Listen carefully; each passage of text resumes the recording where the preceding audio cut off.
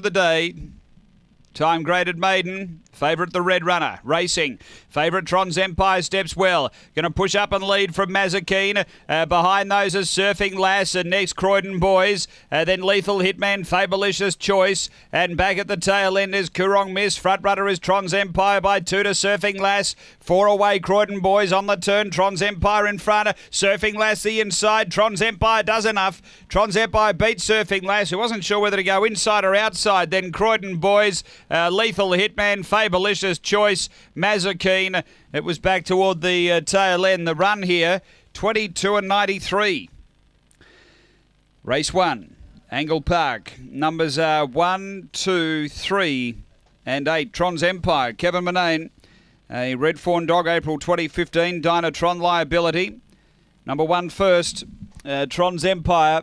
Second, going to two.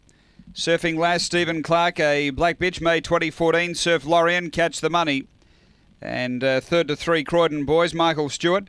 A Red Fawn Dog, March 2015. Spring Gun, uh, Irish Marina. It's one, two, three, eight after uh, race one here at Angle Park Greyhounds.